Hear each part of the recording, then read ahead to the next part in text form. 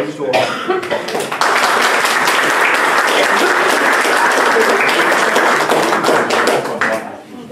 Ja, tak. Godmorgen.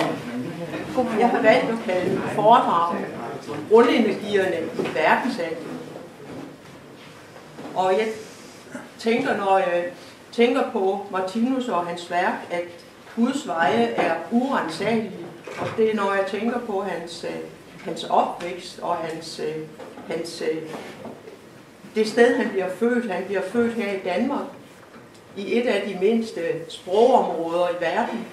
Og, og han skriver sit, øh, sit værk på et sprog, der er, er ved at blive overtaget af engelsk.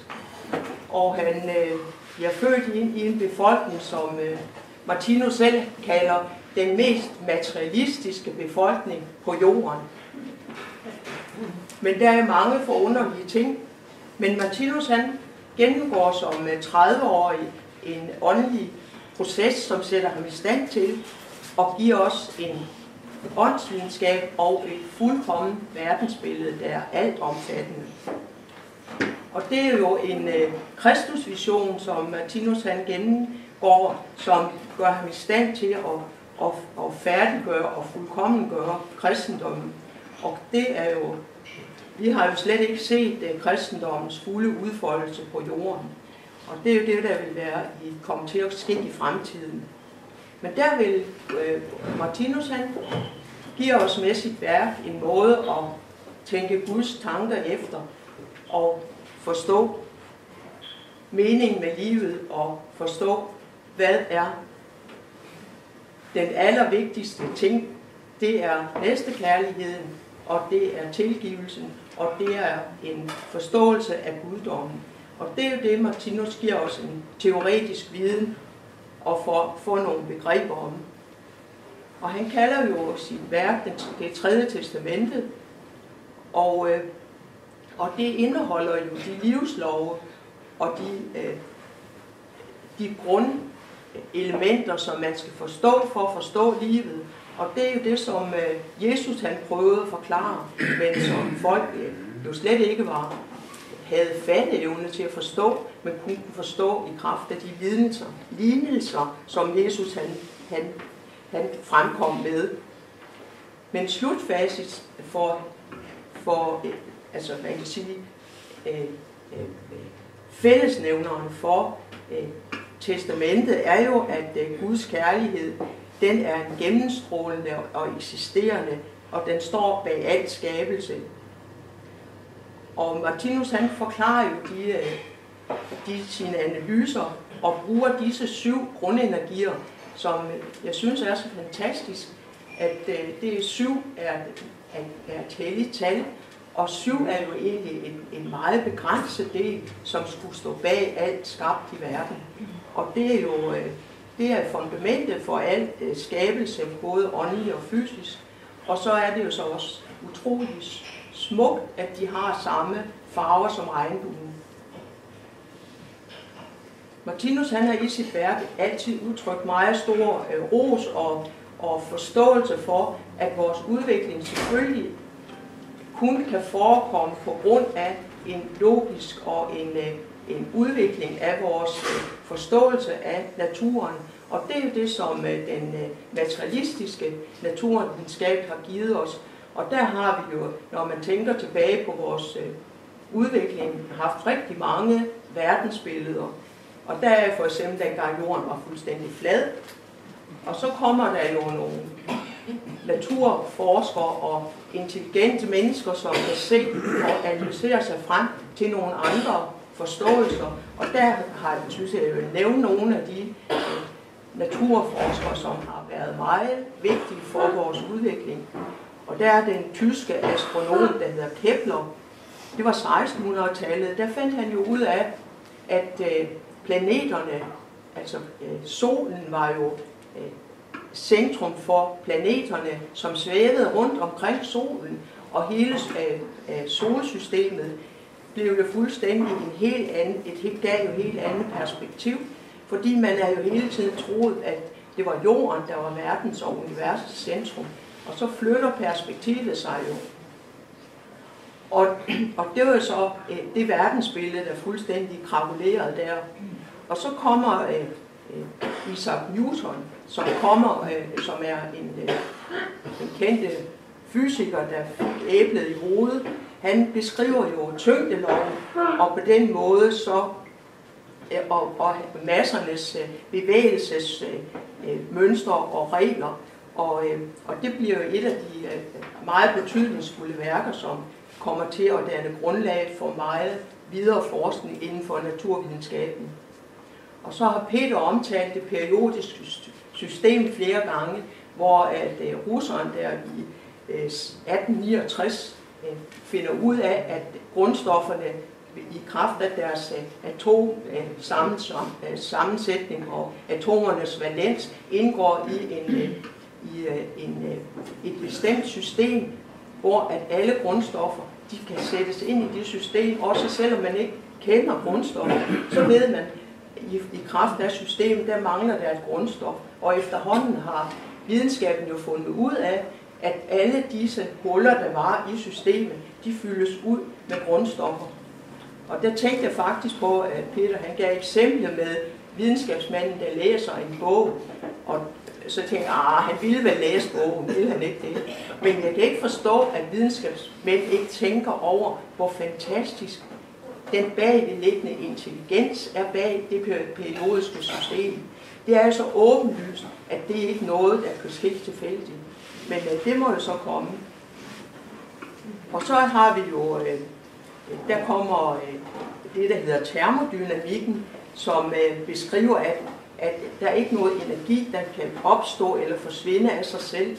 Og det er jo også noget af det, som øh, Martinus han, han analyserer sig frem til at komme med analyser af, at alt er bevægelse, og alt er energi. Og så kommer den øh, Charles Darwin, der skriver arternes oprindelse, som giver en, et helt andet syn på, hvordan at udviklingen den er, har, har givet uh, the fittest of the, the nej, hvad det? Yes. Så, så at, uh, at de religiøse uh, uh, overbevisninger, man havde om skabelsesberetningen fra, uh, fra de forskellige religiøse grene, de bliver jo rykket meget, og folk bliver mere og mere skeptisk over for de dogmer, som der ligger øh, i religionerne. Og det rykker jo hver gang i, i øh, verdensopfattelsen og hvordan man opfatter verden. Så har man, øh, øh, øh, jeg vil også nævne Bohr, han kommer med øh, atomets eksistens, og, øh, og, og der kommer en, en overbevisning om, at nu har man fundet altings byggestene, og, og, og der har man jo troet, at øh, at universet det kunne øh, beskrives som en... Øh, nej, det er Werner Heisenberg, nu skal jeg lige finde min rigtige rækkefølge. Han kommer frem til en teori i, i 1927, at man kan ikke beskrive alt i universet. Og før det troede man nemlig, at i kraft af de den, atomets byggestene, der kunne man beskrive universet som en maskine, og det kan man jo så også øh, se, at det er at det, det materialistiske verdenssyn, det bliver nødt til at flytte sig ud i noget mere ukendt. Så har vi jo, øh, øh, jeg før, så øh, videnskaben, den skældner mellem øh, teori og, og øh, lov, og en teori, den beskæftiger bekræftes kraft af nogle observationer og nogle eksperimenter, og, og man kender jo øh, naturloven, det kender vi for eksempel øh, tyngdeloven, der defineres ved, ved kraft. Og, man, og øh, der er nogle af de der meget super intelligente øh, øh, genier, for eksempel Einstein har et udsagn, der lyder, at øh, Gud spiller ikke med terning. Og det er jo så også et, øh, en, en logisk slutning af den sætning, at Einstein var jo heller ikke materialist. Han havde også et åndelig, en åndelig indsigt og en, og en åndelig forståelse. Og øh, Bjarne Heisenberg har det der udsagn, som øh, Jan også har refereret her for nogle dage siden, at øh, det, den første slurk af videnskabens bæger gør os til ateister. Men på bunden af bæger, der venter Gud. Og der mener jeg, der møder vi Martinus. På den vej, der møder vi Martinus, øh, der vil øh, øh, der forklarer Guds urensagelige veje, og Martinus han viser, han, han bliver vores vejviser, og øh, han giver os muligheden for, som jeg sagde før, at tænke Guds tanker efter. Og vi er så langt i udviklingen, øh, mener Martinus, Øh, og det er jo også i kraft af den øh, materialistiske og naturvidenskabelige forskning, at, og den logiske tænkemåde, det afstedkommer, at vi nu er øh, klar til at kunne forstå Martinus' symboler og Martinus' analyser. Men man må også have en anden, et andet udgangspunkt end bare, at man kan ikke, Martinus han tiltaler ikke de materialistiske videnskab, fordi at det ikke er noget, man kan, øh, kan bevise hverken med eksperimenter eller observationer. Jo, jeg vil tvivl nok observationer, det var ikke rigtigt. Det kan man godt, for det er jo det, livets tale, det er jo en form for observation. Og der, der øh, øh, skrev Martinus, at vi må jo have tage, vi må tage afstand til de der religiøse trostorme, og fordi de kan jo ikke blive ved med at tilfredsstille den analytiske evne, vi har fået i kraft af den uddannelse og de, øh, den undervisning, som vi har øh, tilgængelig i vores kultur i dag. Og, øh, og der må vi så se, at det, der mangler, det er jo også en udvikling af moral og humanisme. Og, og specielt, som Martinus nævner rigtig mange gange, udvikling af vores næstekærlighed. Og, og den, den manglende øh, øh, humanisme og moral i vores samfund har jo nogle konsekvenser, og det er jo de konsekvenser, som, som vi kan se i vores, øh, i vores hverdag, i vores kultur, hvordan at, at vi, vi tror, at jordens ressourcer det står frit til rådighed, og vi kan bare bruge af jordens ressourcer. Men det har vi jo så ligesom fået, det der hedder livets direkte tale, der viser, at der sker nogle ubalancer i vores, øh, vores klima og vores øh, livsbetingelser, og der må vi jo sige, at, øh, at øh, den øh, materialistiske grådighed, den begynder virkelig at få sine konsekvenser, og, og den vil jo så også vise sig, øh, og vi vil få en forståelse af, at jordkloden er et øh, levende væsen, og, øh, og vi bliver nødt til at, at tage et stort hensyn til, at øh, jordklodens økosystemer, det er vores eget øh, livsgrundlag, og det vil jo være en, øh, en indsigt, der gør, at vi vil begynde at forandre de måder, vi, vi har indrettet vores samfund på. Så hopper jeg lige over, så Martinus, han, han har jo det der fantastiske hovedsymbol, og det er jo et, et verdensbillede, som er alt omfattende. Og det er jo så øh, det verdensbillede, man kan sige, at, øh, at det trinvis er, kommer frem til at vise, hvad er det egentlig, øh, kan man virkelig lave et verdensbillede, der er alt omfattende. Og det må man jo sige, at, at det tror jeg i hvert fald på, at det er slut verdensbilledet i sin teoretiske og altomfattende form. Og der giver Martinus jo vores øh, øh, den indsigt i de, de helt store øh, universelle øh, perspektiver. Og der er en fortælling om, da Martinus lavede verdensbilledet, der faldt, da han var færdig med at lave det, der faldt det fuldstændig på plads for ham. Og han, øh, øh, og han øh, kunne føle, at der var ros og jubel fra den åndelige verden. Og det vil jo også, øh, det gav ham jo også sådan troen på, det var, det var det rigtige, og det var den måde, det skulle beskrives på. Og det har jo en fantastisk uh, udstråling, og det er jo uh, et, også et fantastisk uh, kunstværk. Og det symboliserer jo alt i verden. Det symboliserer uh, planeter og planeter de forskellige tilværelsesplaner, det, det symboliserer, hvor de levende væsener har deres øh, udfoldelse i de forskellige tilværelsesplaner, som, øh, som uh, hovedsymbolet symboliserer. Og der har Martinus jo skrevet, det jo bare sådan hurtigt sige, for det er jo også det er foredrag for sig, at Martinus beskriver jo tingene ud fra nogle overordnede principper. Og de principper, de er er gældende overalt øh, i, øh, i, øh, i, i vores evige eksistens. Og det er jo øh, lys og mørke, det er kontrastprincippet, og der er sult- og mættelsesprincippet, og der er øh, reinkarnationsprincippet, og der er øh, øh, karma-loven, og karma betyder jo egentlig årsag og virkning. Og øh, det, jeg vil så starte øh, udefra, hvor Martinus' øh,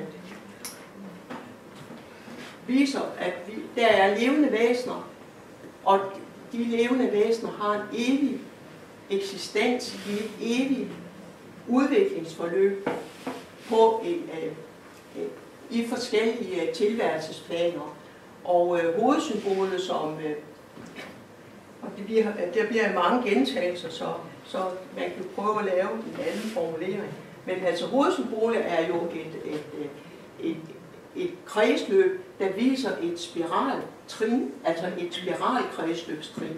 Det viser også et, øh, et livsforløb, og der, der har jo Martinus den fantastiske evne til at lave symboler, der både kan vise noget i et mindre for, øh, øh et, i en mindre, mindre udvikling, og så i den helt store udvikling.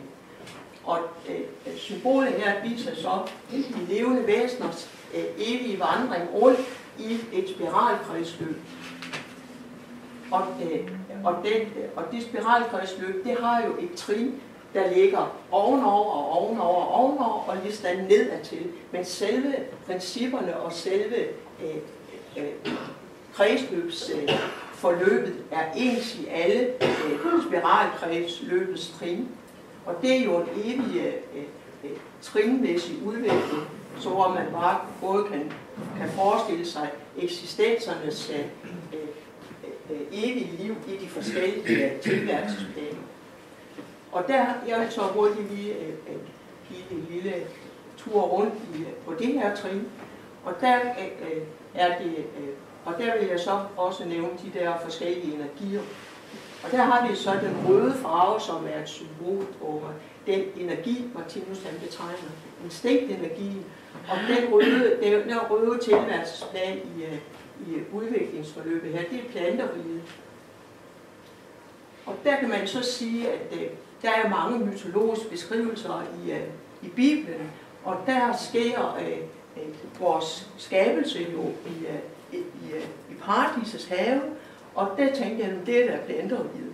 Altså det, det er jo der, hvor der sker en udspaltning af væsenerne, hvor at de så kommer videre ind øh, i et øh, udviklingsforløb, hvor de udvikler en krop, hvor at, øh, at bevidstheden bliver mere, øh, altså mere indviklet i den fysiske materie, end den er i planteriget. Og det kommer jeg lige tilbage til lidt senere. Men der, kommer, øh, der går vi så videre ind i et udviklingsforløb i øh, dyreriget, hvor vi efterhånden kulminerer den, den tyngde energi, som Martinus betegner Øh, det dræbende princip, øh, i hvert fald som kulminerer i dyreriget, og der er der øh, den orange energi, som er farven for tyngdeenergien.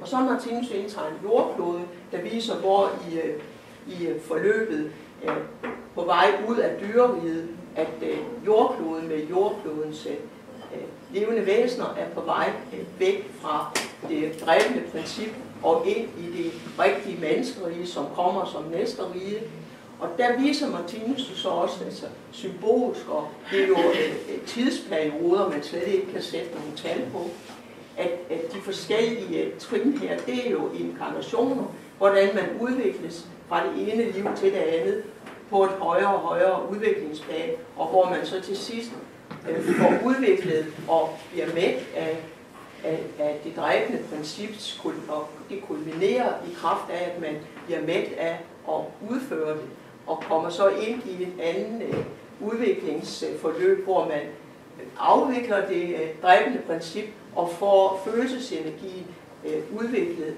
øh, hvor at øh, balancen mellem følelse og tyngde gør, at man kommer ind i en mere øh, næstekærlig øh, øh, livsforløb, og efterhånden har man så udviklet, eller afviklet det drevne princip, så man kommer videre op i den i det rigtige menneskerige, hvor overgangen i øh, overgangen i det rigtige menneskerige er, er, øh, er en fysisk til en åndelig, øh, til et åndelig tilværelsesplan. Og så går man så videre op i den åndelige verden i sin udvikling, hvor man går igennem det rigtige menneskerige, og så kommer man op i den grønne, den grønne område, der er intelligensenergiens koordination, som er den øh, visdomsrige, og så kommer øh, det, der hedder intuitionsenergien med den blå farve, som er øh, saligheds, nej, det er den guddommelige verden, og så kommer øh, mineralriget med hukommelsen som, øh, øh, som kulminerende energi, og det er, øh, det er så øh, øh salighedsriget. Må jeg lige spørge? Og Martin, og Martinus, han, han har en, øh, han har sådan en sådan lidt kort, øh, øh, kan man sige, forklaring af, af hvordan forløbet det er, at den første halvdel af, af, af, af kredsløbet her, det er, øh, hvor at øh, væsenerne, de, nu må jeg hellere sige det helt rigtigt, det er baseret på de levende væseners tiltagende begær på materien, på næstens bekostning. Hvorimod den øverste del op i den åndelige verden, der er det så den modsatte. Det er det tiltagende begær for næsten på materiens bekostning. Og det er sådan meget, meget, meget groft sagt. Men det er faktisk det, der sker, for det er jo en form for et uh, kontrastprincip, der gør sig gældende i, uh, i, uh, i det kredsløb, selvom det er uendelige uh, tidsperioder, det, det, det beskriver, så er at de, de, de principper, som også er, er livslove, de er jo gældende øh, både i det store og i det små. Men så kommer vi også til det vigtigste. Det er jo den stjerne, der er inde i midten, som er Guds altomfattende kraft, kærlighedskraft, der gennemstråler alt i universet. Og, øh, og som Martinus øh, har forskellige betegnelser for, men det er guddommens jeg, og det er, øh, og det øh, er også øh, betegnet som noget, som er, og det er også betegnet som x1. Og det, det er øh, det er jo et fantastisk symbol, fordi det faktisk viser guddommen. Det er jo ikke mange steder, man kan få en fornemmelse af en, en storhed og en, en, en, en fantastisk illustration af, hvad er guddom. Det, er jo, det kan man jo man kan forstå det teoretisk. Altså, det er jo også den måde, man kan begynde at fatte det på. Det er ved, at man får nogle teorier, der gør, at man kan begynde at forstå, hvad er det egentlig, der sker. Hvordan skal man forstå livet? Hvordan skal man forstå verden? Men omkring guddommen, der er der jo så det, som Martinus han betegner som skabeevnen. Der er en skabende kraft, som er den bagvedliggende kraft, der manifesterer sig ud i alle tilværelsesplanerne med et, en skabeevne, som så også betegnes uh, X2. Og den har jo alle de der uh, grundenergier, som, som den energi, der manifesterer alt, uh, sig i alt levende og i alt skabt.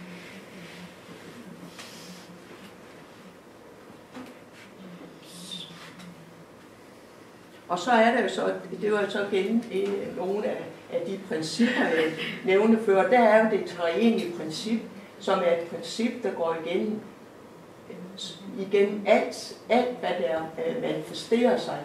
Og alt er jo øh, alt er levende væsener. Og det er jo det, det treenige princip, som jeg så vil vise sammen med, med det symbolet symbol på det levende, ven, det levende væsen. Men det er jo også det princip, som går igen, Øh, som vises i hovedsymbolet med med overbevidstheden, der, der består af X1 og skabeevnen. Og så øh, øh, er det så det skabte, den timelige del, som, er, som øh, manifesterer sig ud, både i den fysiske og op i den øh, åndelige verden. Og bag ved den, øh, og en del af, af den overordnede energi, der er den, øh, den øh, lille farve, som øh, betegner Martinus betegner moderenergien. Og det, det er så en, en, en, en kan sige, en tanke, jeg fik her under en af foredragene, og det er ikke noget, Martinus har skrevet, men der er så meget om, øh, om øh, vores ligeberettigelse i kønnene. Og tænker Martinus, han er jo en fantastisk pædagog.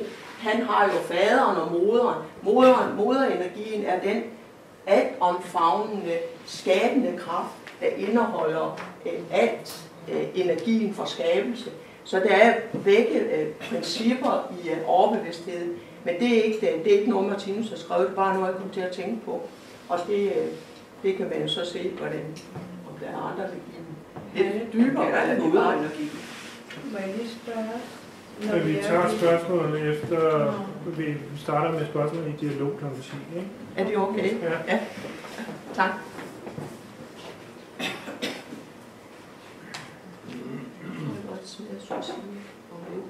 Altså, jeg kunne godt tænke mig at komme med en kommentar, han kalder den moderenergi. Ja, ja, ja. Men altså, det er bare, det, er- det er bare, altså, øh, det kan man så også sige, det kan man måske heller ikke så lige tillade sig at i foredrag. Jeg vil prøve at holde mig til noget af det, Martinus har skrevet, men han kalder det jo moderenergi. Og det tror jeg da ikke er tilfældigt, fordi det er, det er jo et symbol, og, og øh, altså, ja, Nå, det vil jeg ikke gå mere ind på. Jeg vil bare sige her, at de syv grundenergier er sammen med guddommens jeg og skabeevne den bagvedliggende årsag til alt skabt, alt eksisterende. Og det kan jeg så, øh, øh, for, jeg tager lige den der, Det er forkert vej. det er en forkert vej, undskyld. Det er okay. Jamen, I kan bare til en nyde de flotte symboler. Det var den. Fordi det, hvis man tænker, den er, altså man tager sådan et udsnit af, af hovedsymbolet, så får man den samme, den samme, øh, de, den, den samme, det samme treenige princip med, øh, med det evige eksisterende jeg, og, øh, og, øh, den, og skabeevnen, der er overbevidstheden, som er, man kan sige, den bagvedliggende øh, skabende kraft, som også gælder for, for alle levende væsener. Og det er jo alle levende væsener, lige meget hvor man er i, øh, øh, i, i, i, i de forskellige eksistensplaner. Der er det princip, der gør det sig gældende. Og der har man så øh, det, Martinus kalder talentkerner, som øh, man kan øh, udvikle øh, ved, i kraft af de øh, grundenergier. Og der har vi jo så igen øh, øh, instinktenergien og øh, øh, tyngdenergien og følelsesenergien og intelligensenergien og intuitionsenergien og så hukommelsesenergien. Og, og der har man så et øh, symbol på, øh, på det timelige, altså det skabte, som øh, Martinus kalder X3, som er den er det fysiske læme, i hvert fald når man er i, øh, i, den, øh, i, det, i det livsforløb, som vi er på nuværende tidspunkt. Og der har man så en, et symbol på, på korset inde i, inde i midten, og, og det er, som jeg har forstået det, er det symbol på fuldkommen skabelse. Fordi alt, alt skabelse er jo fuldkommen, hvis den er logisk og er til gavn og glæde for alle levende væsener. Og det er jo en fuldkommen skabelse. Og det er, er jo både den, den øh, horisontale og den vertikale øh, øh, øh, udvikling, der skal gå sammen til at skabe den der fuldkommen skabelse. Og der øh, har vi så forskellige bevidstheds øh, øh, måder og kan udtrykke os for på, men på vores øh, udviklingstrin, der er vi jo ikke bevidst i den øverste øh, skab, den, øh, i, i og det overbevidsthed, som Martinus han kalder øh, det evige jeg og skabeevnen. Og det er, jo, det er jo den bevidsthed, vi er på vej til at udvikle for at få en, øh, en, en fuldkommen skabelse. Så vi har jo vores øh, dagsbevidsthed, der ligger hernede i den, øh, i den timelige, den skabte del, og, øh, og vores øh, natbevidsthed, som, øh, som fører os op i en, en åndelig dimension, øh, som Martinus kalder også den lille død. Og vi har været lidt inde på det her symbol her i løbet af ugen, men det er jo et, øh, et symbol, der, der, der meget symbolsk viser, hvad er et levende væsen? Hvad består et levende væsen af? Og der er så nogle energier, som, øh, og der er det som moderenergien, den lille farve, der ligger heroppe, og den indeholder også, øh, i overbevidstheden ligger også de, øh, den drivkraft, der hedder urbegæret. Og det er jo det, det begær, der ligesom sætter os i gang til at vil opleve livet. Vi vil opleve nye ting, vi vil opleve kontrasterne til det, man er træt af. Og der er et begær efter en livsoplevelse. Og det er jo egentlig også det, som, øh, som holder hele øh, universet i gang, at man hele tiden har en drivkraft i sig til at manifestere sig og få en livsoplevelse. Og det er jo egentlig utroligt med Martinus, han kan jo sige tingene så enkelt. Hvad er livets mening? Det er at opleve livet. Altså sådan er det bare, og det er, kan man jo så opleve på alle mulige forskellige øh, tilværelser, i alle mulige forskellige tilværelsesplaner. Og det er så deroppe, vi har jo også det, som, øh, som kaldes øh, og det ligger også oppe i overbevidstheden som en, øh, en bagvedliggende styrende funktion, alt efter om man øh, har en, øh, et, et, et udviklingsforløb, hvor man ud er, er, er kvinde, eller man har et udviklingsforløb, man er mand. Og det er noget, der skifter i de forskellige øh, kredsløbstrin. Og det var også et af symbolerne, som Borg Bob havde frem i går, hvor man ser de forskellige skift. Og det princip, det ligger også heroppe i overbevidstheden, som en fuldstændig fast øh, styreform, kan man sige. Og så ligger det, som hedder øh, skæbneelementet, og det er jo det element, der bestemmer, hvad er det for et øh, liv, vi, øh, vi øh, manifesterer os i. Og det er jo alt efter, hvad det er for nogle øh, talenter, vi har, øh, vi har udviklet. Og, men det, det er jo ikke sådan, at man... Øh, planten kan jo ikke pludselig øh, udvikle en øh, genial øh, intelligens. Det hører jo med til nogle ganske bestemte principper, der gør, hvad er det for nogle udfoldelsesmuligheder, man har i de forskellige tilværelsesplaner. Og det kommer jeg så lige lidt mere tilbage til, fordi vi har, Martinus har jo det der flotte symbol, der er simpelthen kørt den rigtig meget. Det gør jeg vist, ja. Og det er det, som Martinus kalder grundenergiernes øh, kombination. Og det er jo igen også et helt fantastisk øh, øh kunstnerisk øh, øh, øh, altså, øh, symbol, der er øh, der har en symbolik og en øh, altså folk, der ikke kender til symbol. Jeg har vist symbol til hjemme, hjemme, hjemme hos mig. Og folk, der kommer ind, er fuldstændig hvad er det dog for flot billede, du har? Jamen det er da også simpelthen så genialt. Og det er ikke fordi, jeg begynder at forklare grundenergiernes kombination, det gør jeg slet ikke. Jeg tænker, folk må jo ligesom tage det til sig, og måske møder de det igen, og så kan de øh, tænke, hvad det, det er da helt fantastisk. Og det er jo en, øh, en, en udvikling af de forskellige energier på de forskellige tilværelsesplaner. Og der har vi så igen øh, øh, jeg starter her med planteriget og dyreriget og det rigtige menneskerige og visdomsrige, den guddommelige verden og salighedsrige, og så kommer planteriget igen. Og der har vi så de grundenergier, som øh, er den bagvedliggende drivkraft på alt, i al skabelse.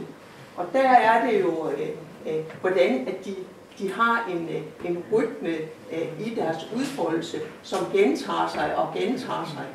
Og i planteriget, der har vi jo instinktenergien som, som fuldt udfoldet. Og der kan man så se, der er i, i alle tilværelsesplaner, der er der en uh, energi, der er fuldt manifesteret af, i, og planteriget har instinktenergien, og dyreriget har øh, tyngdenergien, det dræbende princip, og de rigtige menneskerige har øh, følelsesenergien, og den visdomsrige har intelligensenergi, og den guddommelige verden har særligheds, øh, er intuitionsenergi, og så kommer hukommelses, øh, hukom, hukommelsesmanifestationen i fuld udfoldelse i særlighedsriget. Og det er jo en, en, en, en rytme, der går igen øh, på alle tilværelsesplanerne. Og i planteriet, der kan man jo så se, at øh, de har jo en instinktborn adfærd. Nej, jeg kan også så sige, men det er jo så den omvendte. Der er altid kontrasterne. Der er jo en, der er fuldt udfoldet, og der er en, der er i sin mindste latente form. Og så er der en, der er på vej til fuld udfoldelse, og en, der er på, øh, på vej til en, øh, en, en, en fuldstændig latent form. Og det er jo den rytme, der går igen.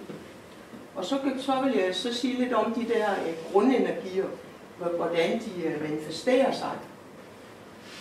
Og i planteriget, der har vi jo så den røde instinktenergi, der er fuld, øh, der er fuld øh, øh, i sin fulde udfoldelse. Og det er den energi, som øh, planterne skal bruge for at komme ind i den fysiske verden. Og de, øh, de har jo en, en længsel efter og komme ind i en verden, hvor de møder modstand og får øh, vækket deres sanser. Og det har de jo, de har jo tidligere været her i, øh, i øh, den øh, i salighedsrige, hvor de har sådan været, haft, haft den helt store tur igennem øh, den åndelige verden med en lysoplevelse, der har øh, ligesom brændt deres, øh, deres øh, kosmiske bevidsthed ud, så at, at den har slet ikke nogen øh, livsoplevelse for den længere. Og der kommer så begæret efter en ny øh, livsoplevelse og en ny tur ud igennem den fysiske verden. Og de har deres, øh, de har deres øh, øh, bevidsthed på det åndelige plan, og det var det, vi også snakkede lidt om i går med hensyn til det øh, symbol med øh, den ideelle føde, hvordan at, øh, at de opfatter jo ikke smerte, de har ikke nogen bevidsthed, der viser, at øh, øh, der kan give dem angst for, at de bliver, øh, at de bliver dræbt, og de bliver, øh, øh, øh føler smerte i, i, i, i, og lidelse i, i, i deres tilindegørelse. Tværtimod er det jo så en, en behagsoplevelse for dem at, at få den fysiske, den fysiske påvirkning. Og der, der har Martinus er, er meget øh, imod, man går og plukker blomster, og man kan sige, at han var, havde nok en indstilling, at alt, der ikke havde et, et, øh, et, et kærligt formål, det var ikke særlig godt at udøve. Og det er jo ikke fordi planten, den får jo også en uh, stimulation af at blive plantet, rykker op eller plantet og plukket. Men øh, den får jo heller ikke lov til at udfolde sin, øh, sin bestemmelse til at danne frugt og danne, øh, den får sin fulde øh, øh, blomstring, og den får lov at danne sine frø og sine frugter til at kan, planten kan formere sig til, på, uh, til dag. altså, det er jo livet, et af livets principper også, at man har en, en, en drift i sig til at, uh, at, at få afkom og slægten og, at, gå videre i livet.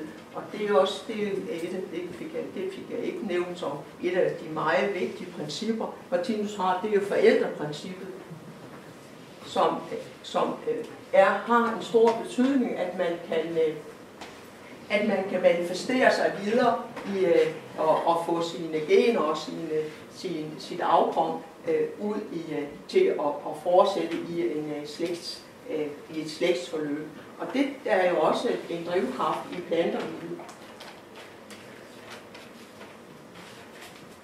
Og, øh, og der, der synes jeg, jeg vil sige, at den, øh, nej, det vil jeg lige komme til lidt senere, hvordan en, en energi, det er jo ikke sådan en, der forsvinder, at når den så færdig færdig planter, så forsvinder den. Det gør den jo slet ikke. Når vi kommer op i dyreriet, der har den jo en, øh, en stadig en meget kraftig øh, betydning for at, øh, øh, for den er jo årsag til dyrenes måde at agere på, og det er deres instinktborne adfærd, der gør, at de, kan, øh, at de kan klare sig i den fysiske verden. Og det er jo også det, som er så fantastisk, når man ser, hvordan at fuglene kan finde vej fra den ene ende af, af jorden til den anden, og frem og tilbage, og finde deres egne ynglepladser. Og det er jo en, en, en, en sengborn adfærd, som øh, er så gennemtrængende for, at de kan få deres øh, livsoplevelse. Og i, øh, i dyreriet, der har vi så kulminationen af, af tyngdeenergien. Jamen, jeg tager lige de energier der. Jeg havde godt nok lige tænkt, der var noget, jeg ville sige først. Jeg tager lige de energier der. Og så med den instinkt energi. Nej, jeg gør, lige, jeg gør det lige færdig med, hvordan de er. Det er tyngdenergien og følelsesenergien, der, der begynder at være meget dominerende og, og, og, og bærende for den adfærd, man har i øh, dyreriget. Og det er jo der, hvor intelligensenergien den kommer, begynder at vokse. Og man kan se, at vi er her i den del af, af udviklingsforløbet her øh, i den sidste halvdel af dyreriget, og der er intelligensenergien jo faktisk ikke særlig.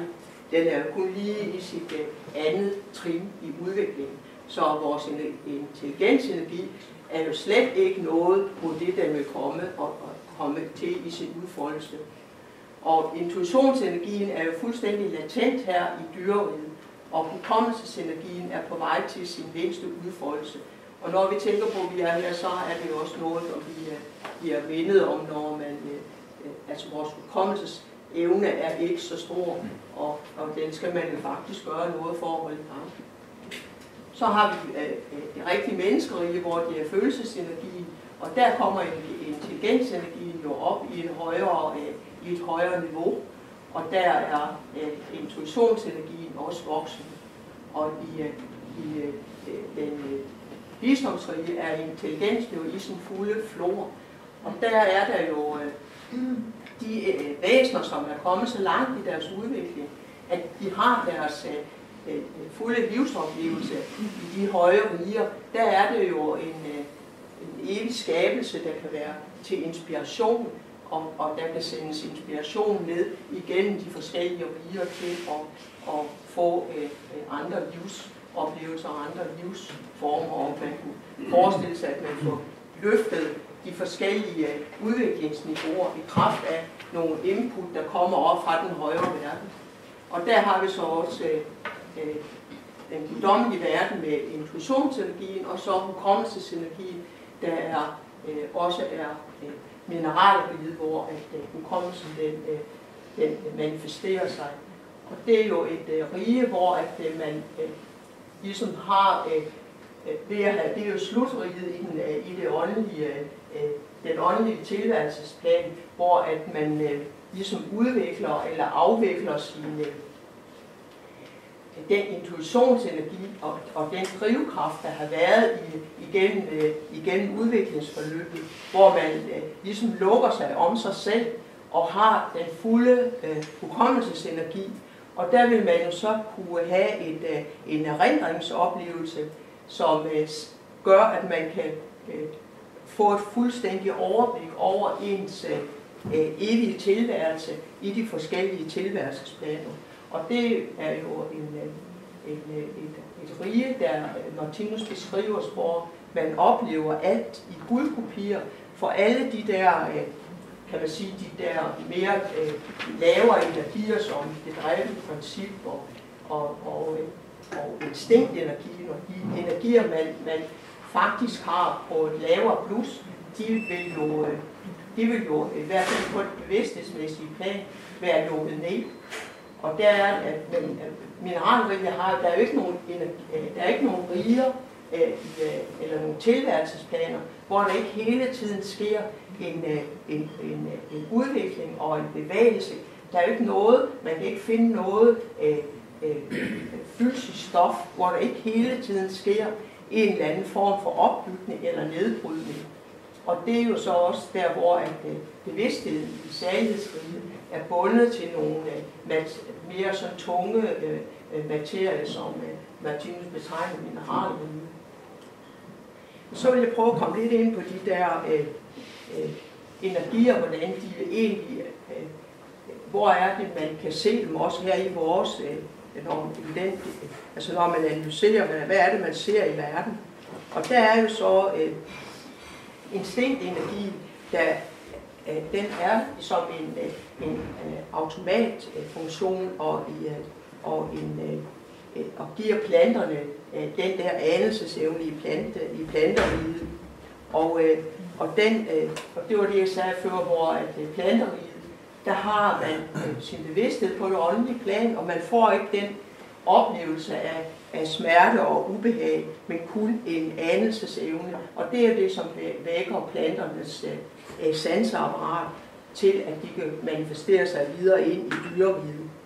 Og dyrenes øh, væremåde, det var jo også den øh, instinktborne øh, adfærd, og, øh, og det er jo også det, som øh, er med til at, at, at, at danne deres øh, bevidsthed og deres øh, tankeenergi til at blive mere, mere sansbare, altså sansmæssigt. Det er dyrene, hvor dyrene får jo øh, udviklet det sansapparat, der gør, at de kan udvikle følelsen af smerte, og, og de har et, et udviklet nervesystem, der gør, at det er jo, det er jo det, der gør, at det, det dræbende princip øh, danner lidelse og, øh, og, øh, og smerte, hvis man, øh, øh hvis man udøver det dræbende princip over for dyrene, som øh, desværre er meget, meget almindeligt her i øh, vores måde at leve på. Og det er jo det, som, øh, som øh, Martinus meget går meget ud af, den forskel, der er mellem at, at ernære sig plantemæssigt, som øh, er plante, øh, planteernæring øh, frem for animalsk ernæring. Men selvfølgelig skal dyrene, der har, de har jo deres instinktborne adfærd, og en løve kan jo ikke pludselig blive vegetar. Løven har jo et, øh, et, et mavetarmsystem, der gør, at det er i stand til at omsætte den animalske føde på en helt effektiv, anden effektiv måde sammenlignet med vores organisme. Og det har et meget kort øh, øh, mavetarmsystem, der hurtigt får, øh, får de animalske føde øh, ind ned igennem øh, og får optaget de, øh, de livsenheder, som gør, at der, det der er, det er jo dem, der er ernæring for, for øh, den, øh, den organisme, der indtager føden.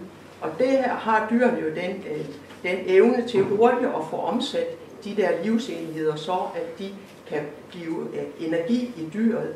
Hvorimod vores mavetarmsystem er jo meget langt. Vi har jo mange 12 meter lang øh, tyndtarm, og det, der dannes jo nogle, øh, nogle øh, affaldsstoffer i vores mavetarmsystem, som gør, at, at den animalske føde, den faktisk er, er danner nogle, øh, altså man kan næsten sige, som giftstoffer i øh, vores krop, men også at vores, øh, øh, vores mikrovæsener i mavetarmsystemet skal være med til at nedbryde disse, øh, disse øh, animalske livsenheder, for at vi kan få de der, øh, den, det, det stof, det livsstof. Unnskyld, er det mulig å få overnatting her? Ja. Ja, det var det. Det, det er jo, ja.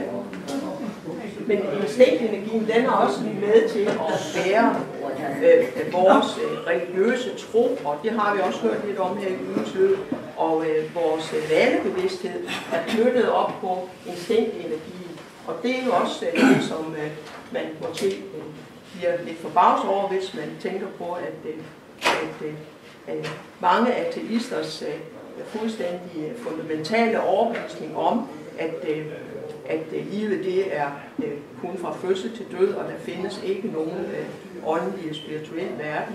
Det er jo også en form for øh, en øh, religiøs tro, bare med, øh, hvor man så ikke skal bruge ordet religiøs. Men altså al overbevisning kan man vel kalde, at det er, det er en form for religion. Så er det noget fantastisk med, øh, med den instinktborne adfærd i vores øh, organisme, fordi øh, vores organer har jo en, øh, en automatfunktion, som de har, øh, som de har øh, øh fået fra et tidligere, øh, fra et tidligere spiralkredsløb, og de ligger jo nogle udviklingstrin under os. Og der, den øh, instinktborne adfærd, den gør jo, at vores nyrer, vores øh, lever, vores lungesystemer fuldstændig automatisk laver et, en samarbejdende funktion i vores organisme, som er helt fuldstændig unik. Og den viser jo et, et overordnet samarbejde, som, øh, som vi måske efterhånden, som vi får vores øh, samfund udviklet, kan forstå, at det er det, som danner grundlaget for, at noget det fungerer fuldstændig. Og det synes jeg er så, øh, er så imponerende, at, øh, at øh, organismen, som øh, man så efterhånden er blevet mere og mere bevidst om at kalde et intelligent, vi har et intelligent lægeme, og de funktioner er man jo faktisk først ved rigtigt at få det fulde øh, indtryk og forståelse af. Og det er, det er jo et øh, organismen eller organernes øh, øh, manifestation, der, der øh, udtrykker sig på den der øh, fuldkommende øh, udviklede måde. Og der er forskellige, øh, øh, øh Martinus kalder det C-viden, og vi har forskellige niveauer, hvor man tilegner sig talenter og, og, øh, og kvaliteter i vores udvikling. Og der er den sidste, den sidste station i det, det er den fuldkommende øh, øh, udvikling, og det er jo så også det, øh, organerne viser sig og manifesterer i vores krop. Og, og, øh, og så øh, med hensyn til også til, hvordan øh, vores krop er, ind, ind, er, er øh, skabt, og øh, hvor genialt det er, at vi er fuldstændig unikke væsener. Vi har ikke, der er ingen, der har ens fingeraftryk, der er ikke nogen, der har den samme DNA-profil, og øh, man har jo problemer med at finde ud af at, øh, at lave en forligelighed, når man øh, i, øh, inden for lægevidenskaben skal finde øh, egnede øh, organtransplantationsemner. Og der kan man, får man jo aldrig den fuldkommende øh, forligelighed, fordi at øh, vi har jo en, en bagvedliggende åndelig struktur, som aldrig nogensinde kan være fuldstændig identisk med et andet væsen. Og det er jo det, som gør, øh, at, øh, at det vil jo aldrig blive en fuldkommen øh, behandling, fordi at den, jo, den bygger jo for, for, for det første også på, at der er væsener, der er blevet slået ihjel, og så kan man så bruge organer. Men det har, vi ikke, det har vi jo ikke set, øh, øh, hvad kan man sige, øh, kulminationen af, fordi her for, øh, øh for 14 dage siden, der så jeg i, øh, i, i en nyhedsudsendelse, at man på Aarhus Universitet har lavet nogle øh, forsøg med at frembringe grise, der har, øh, hvor man i kraft af at gå ind og, og lave nogle manipulationer med DNA-strengen, har kan klippe nogle af de gener fra mennesket ud, og så sætte grisegener ind, og så vil man efterhånden kunne frembringe et, øh, et gris, der har øh, de samme, den samme genstruktur, øh, som, som et menneske har. Og det er jo fuldstændig sygt at tro, at man kan lave et, et, et grisevæsen, altså organer om til et menneskeorgan. Men så langt er man jo, man har jo ikke den indsigt, at der er nogle øh, strukturer, åndelige bagved styrende strukturer, man ikke bare kan gå ind og manipulere med. Og det må jo få de konsekvenser, de så får, når at, øh, hvis man virkelig begynder at lave sådan noget. Og der er nogle øh, underliggende, øh, man kan næsten sige lidt ukendte øh, faktorer i, øh, i sådan en, øh, i sådan et, øh, en, en forligelighedsproces, hvor at man kan jo få nogle øh, underliggende øh, sygdomme ind i, øh, menneske, i menneskeheden, som, som, som man slet ikke kan styre. Og det er jo faktisk for eksempel, hvordan AIDS egentlig har været en, eller er en sygdom i nogle aber i Afrika. Og der har man jo måske nok mistanke om, at de er blevet påført mennesker øh, ved, altså, ved, at man har manipuleret med noget, eller hvad man så har gjort. Men det er sådan lidt øh, forunderligt, at, øh, at det pludselig springer over til at være en menneskeskabt sygdom, altså en menneskeborgen sygdom. Og dem er der jo mange, øh, dem er der jo mange eksempler på, øh, hvordan at vi, man inden for videnskaben har en uvidenhed på det område.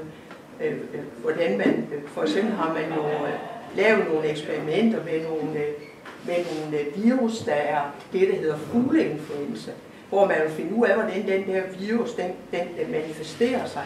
Og, og ved hjælp af, når man laver sådan nogle eksperimenter, kan man jo også komme til at, at påføre det til, så at det bliver en smitteborgende sygdom, som øh, menneskeheden kommer til at lide af. Men det må man jo bare øh, håbe, at, øh, at øh, konsekvenserne de viser sig så tidligt, at man måske stopper med det. Men ellers må man bare sige, at det er de øh, konsekvenser, det har, at lave de der eksperimenter.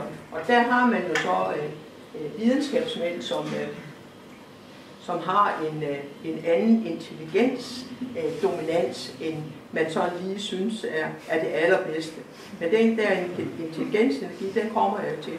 Vi har så følelses- og, øh, og tyngdeenergi, og den, øh, den, har, øh, den er så, hvis vi tænker på, hvordan den manifesterer sig i vores del af, af udvikling, så er den øh, øh, tyngdeenergien er på vej til at aftage, og følelsesenergien er, øh, er den, øh, den, der er på vej til at kulminere. Men Martinus skriver, at de to energier, de fuldstændig følges af og har en balance med hinanden i kraft af, at tyngdeenergien er den energi, der er der manifesterer sig som varme og det eksplosive og, og øh, i følelsesregistret kan man jo så tale om, at den manifesterer sig som had og, og, og, og voldsom vrede. Og hvis ikke den hæmmes af, af, af følelsesenergien, som er den kolde og den sammentrækkende, kan man jo så få de der voldsomme øh, energiuladninger, som, øh, som vi ser som krig og ufred og konflikter. Hvorimod øh, øh, en balance af de to øh, energier kan sig som, øh, som kærlighed og som varme og som omsorg. Og det er den balance, som, øh, som vi øh, mangler lidt at få ind i vores, øh, i vores øh, kultur. Carmen, har du vel artet meget tilbage? Tiden. Nej, det er ikke så meget. Skal vi tage resten? Øh... Jamen ved du hvad, jeg, jeg kunne hurtigt lige køre de der, det er jeg helt glemt at kigge på uger. Ja. Det jeg, har glemt det, jeg har faktisk taget noget med, jeg ikke har skrevet. Nå, Jeg mangler lige uh, intelligensenergien og intuitionsenergien. jamen skal vi så ikke holde pause, så Det vi tager du bare på det, og så tager vi dialog Jamen, det kan vi godt. Er Det kan vi godt? Ja. Jo. Ja. jo.